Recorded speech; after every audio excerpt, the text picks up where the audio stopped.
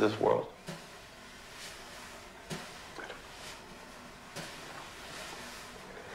Who can know the mind of God?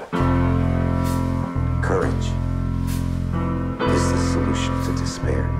Reason provides no answers. We can't know what the future will bring. We have to choose despite uncertainty. Wisdom is holding two contradictory truths in our mind simultaneously hope and despair. A life without despair is a life without hope. Holding these two ideas in our head is life itself. Emotional standstill. I no longer exist.